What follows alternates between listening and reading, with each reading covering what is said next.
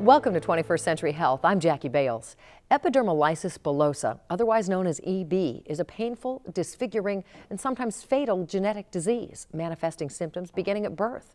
Tragically, no medications, products, or procedures have been clinically proven to effectively treat the underlying cause or effects of EB. However, the company Scioderm, having received the breakthrough therapy designation from the FDA for their new product to treat EB, believes there is new hope for those suffering from this disease.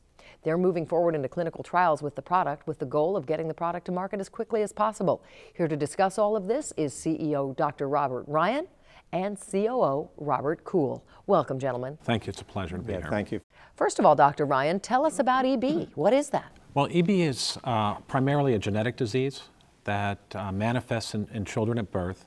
It's a disease, if you think about the skin as different layers of grass, and you have roots that turn around and hold the different layers together. EB is a connective tissue disorder where you have anchoring fibrils in your skin and other parts of your body that hold the different layers intact. They're either defective or they're deficient. So what it does is it causes the skin or other areas to be very, very unstable. So their skin tears very easy.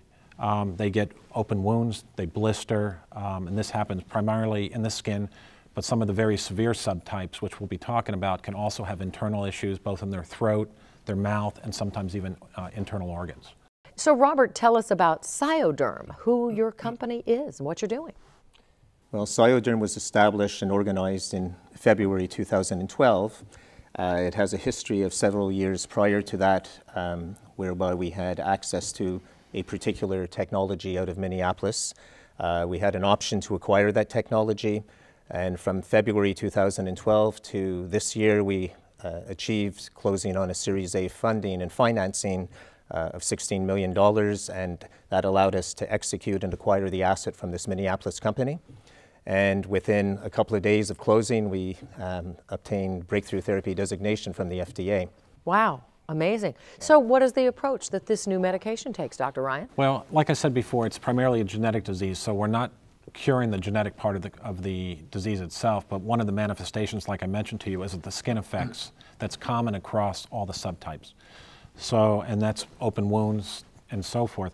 What we're looking at is we have a product that's in the clinical trials now that we're going to be looking to potentially heal the wounds quicker, also have, uh, we're going to be looking to see how, what impact it has on new outbreaks and see if also that should translate into an improvement in reduction in infections. So we're focusing primarily on the skin effects, which is common across all the different inherited subtypes.